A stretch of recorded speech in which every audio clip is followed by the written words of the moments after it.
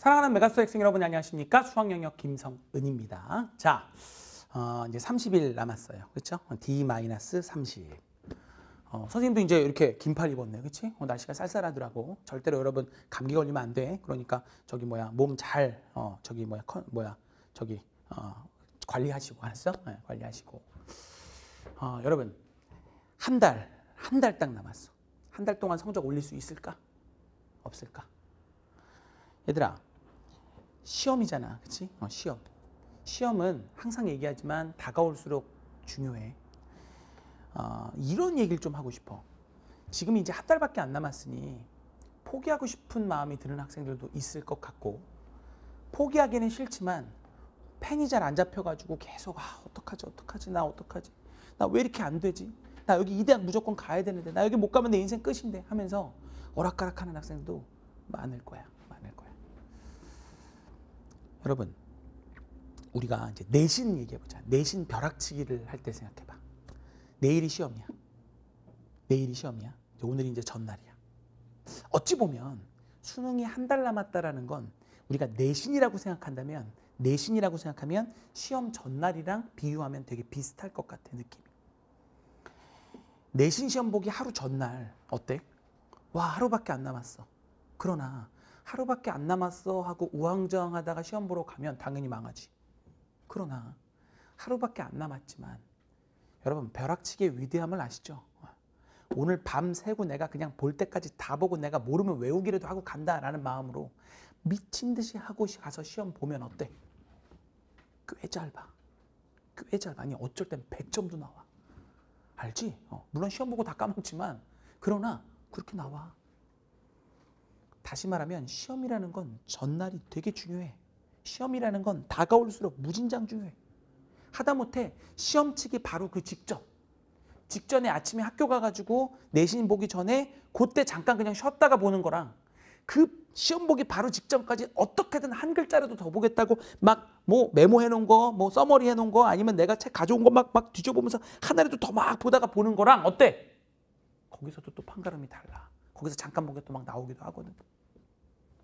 다시 말하면 시험이라는 건 다가올수록 진짜 중요한데 지금 D-30 한 달이 남았다라는 의미는 내신으로 따지면 하루 전날이다 라고 말해도 과언이 아닐 것 같다. 어. 선생님이 D-60 캐스트 또 50 캐스트 또 뭐 40 여기서도 계속 얘기했지만 얘들아 제일 나쁜 버릇이 뭔지 알아? 세상에서 제일 나쁜 버릇이 그게 포기하는 거야. 그리고 마지막에 흐지부지 끝내는 거야. 마무리를 똑바로 못하는 거. 이게 제일 안 좋은 버릇이야.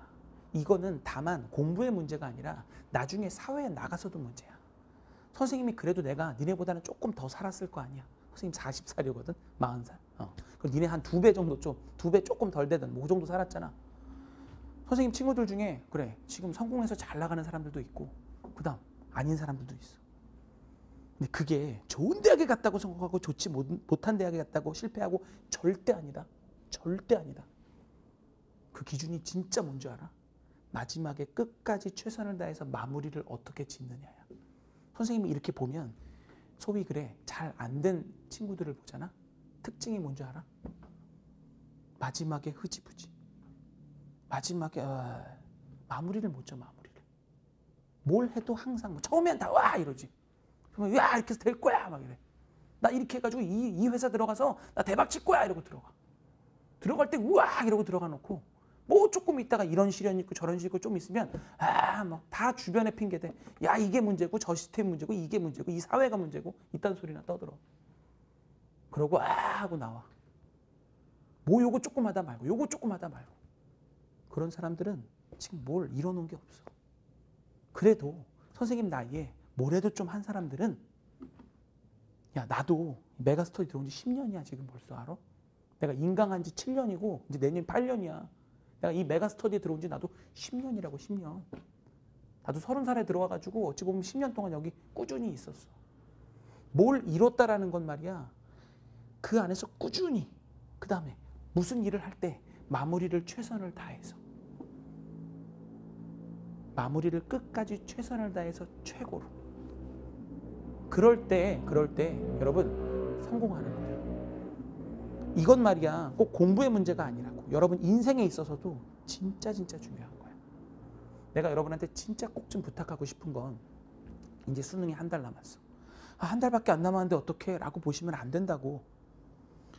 그래 이전까지 똑바로 좀 안 했다 할지라도 내가 이제 D-60 캐스트 때도 진짜 강조했잖아. D- 선생님이 D- 매, 매 이제 10일마다 간격으로 올리고 있는데 D-60 캐스트는 꼭 좀 가서 봤으면 좋겠어. 내 진심으로 여러분한테.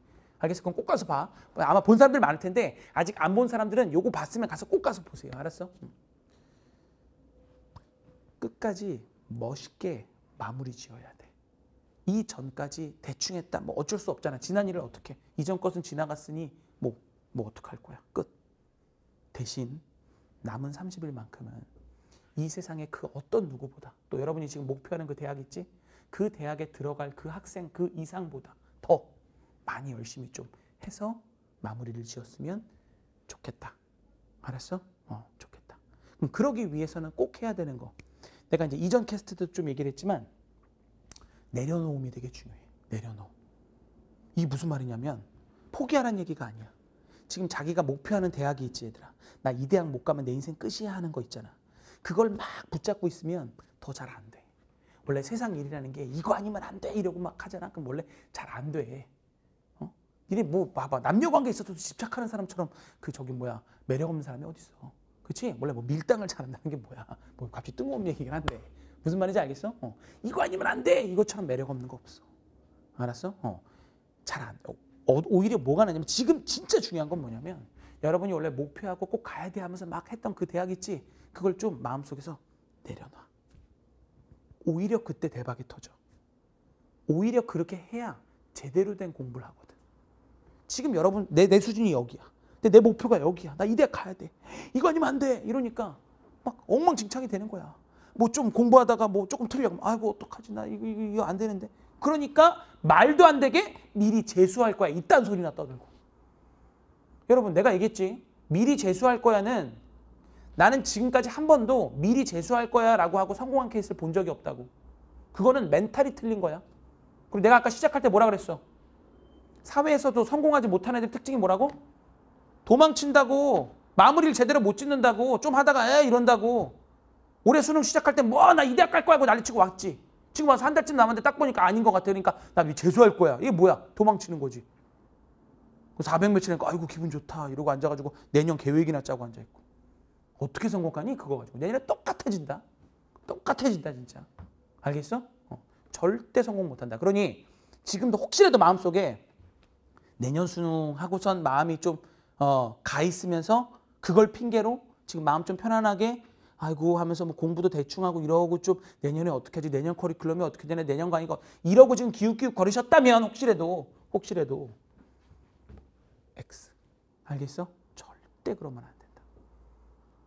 그거 다 내려놓고 올해 무조건 대박 칠 거야 라는 마음과 그 다음 플러스 뭐 내려놓 어, 대학을 좀 내려놔 마음속에서 마음을 좀 편안하게 오히려 이 마음이 좋아. 30일만 죽었다 치고 열심히 해보자. 30일 후에 나는 집에 안 들어간다. 난 맨날 나가 놀 거야. 어, 나 그냥 나가 놀 거야 완전히. 그 그렇잖아. 원래 우리가 내신 아까 내가 계속 내신 벼락치기 얘기하는데 내일이 시험이야. 그 전날이야. 아 그때 뭐 어때?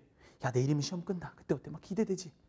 그 기대되는 마음. 내년에 내일 끝나면 그 친구들이랑 영화도 보러 갈 거고 모두 갈 거고 그 기대되는 마음은 어때? 밤을 새서 미친 듯이 열심히 하잖아. 요, 요 포인트인 거야. 딱 한 달 있으면 나는 수능이 끝나고 끝나고 나면 나는 이것도 하고 저것도 하고 너무 신나. 그 기대감을 갖고 그냥 최선을 다해서 할 수 있는 공부를 끝까지 한번 해봅시다. 나는 몇 점 이상 못 맞으면 안 돼. 나는 어느 대학에 못 가면 안 돼. 이건 조금 다 머릿속에서 지우고. 그럴 때 친 것도 다 맞고 막 만점 나고 난리가 날 거야. 내 말 믿어. 알았어? 알겠어? 그래야 또 제대로 된 공부를 해. 그래야 뭘 틀려. 틀리면 어떻게 느껴야 돼? 모의고사를 봤어. 틀렸어. 아이고 틀렸네. 어떻게가 아니고 틀렸어. 아이고 잘 됐다.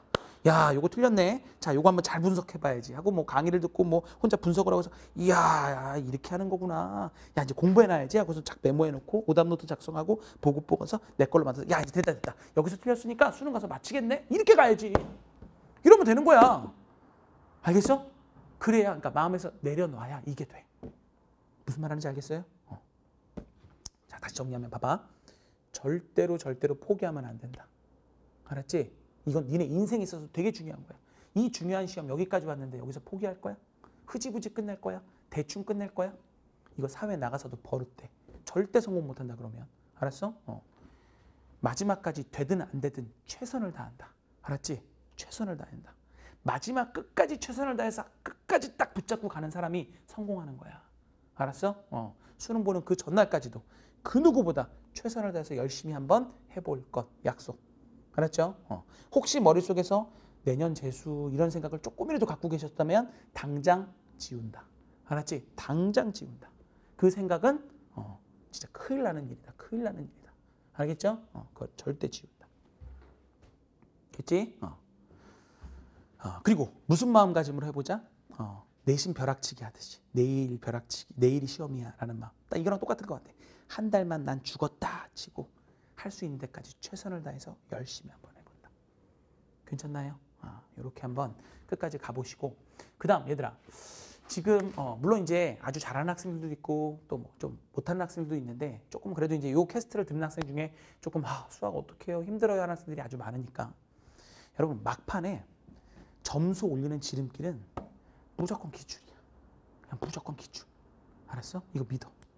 무조건 기출. 알겠나요? 어. 그래서 내가 이제 작년을 이렇게 한번 돌이켜 보니까 작년 요맘때 딱 요맘때야. 그때 선생님이 선생님 강의 중에 적중백제 강의가 있어. 적중백제가 이제 기출 문제 100문제씩 모아놨는데 어, 너무 좋아요. 알았어요? 네, 근데 근데 그거를 선생님이 또 한 달 동안 계획표를 이렇게 좀 짜줬었어. 그 적중백제를 어떻게 어떻게 듣고 이걸 이제 계획표를 이렇게 짜가지고 올려줬더니 작년 또 요맘때 선생님 그거 너무 좋았어요. 그래서 선생님이 계획표 짜주니까 그거대로 그냥, 그냥 아무 생각 안 하고 믿고 막 따라오면서 강의 들으면서 또 풀어보면서 막 갔더니 성적이 올랐어요. 많이 올랐어요. 학생들이 아주 많았거든. 어, 그래서 어, 이것도 마찬가지. 제가 자료실에다가 어, 또 적중백제 1강 옆에다가 어, 계획표를 업로딩 해드릴게요. 알았어? 계획표를 딱 올려놓을게. 올려놓을 테니까 여러분들 혹시 선생님 지금 뭐 적중백제 듣는 사람 진짜 많은데 어, 그거 잘 듣는 학생들 어, 같이 따라왔으면 좋겠다. 알겠어? 어. 물론 이제 또 찍기 final 가지고 제가 그걸로 이제 이렇게 또 한 달 동안 계획표 잡아준 것도 있어. 그거부터 해. 그게 먼저 1번이야. 어. D-60 cast 제가 올려놨던 거. 그게 1번이고 그게 또 다 끝난 학생들 지금 와서 아 이제 선생님 어떻게 할까요? 하면서 이제 저한테 질문을 많이 올리길래 자 어찌됐건 막판에 점수 올리는 지름길은 기출문제 분석과 그다음 뭐다 모의고사지, 그치? 어, 모의고사. 모의고사는 불꽃 final 모의고사 뭐 아니에요, 알았어요? 네, 그거 잘 보시면서 따라오시면 되고 그 다음에 어, 적중백제 가지고 기출문제 분석 확실하게 하면서 막판에 그냥 막 돌리면서 가. 그 뭐 그걸 어떻게 공부합니까? 오답 노트는 어떻게 작성해요? 이런 거에 대해서는 제가 일강 옆에 그러니까 강의에서 또 자세히 설명할 거니까 그건 그렇게 가서 보시면 될 것 같고 알겠어? 한번 해봅시다. 근데 또 이걸 또 듣고 난 다음에 저놈 새끼 뭐또 와서 또 강의 팔아먹는다 이딴 소리 하지 말고 그런 얘기 할 거면 그냥 가. 알았어? 그 그런 얘기 할 거면 가. 그 아주 뭐또 그럴라 그러네. 이러면서 또 삐딱하게 보지 말고.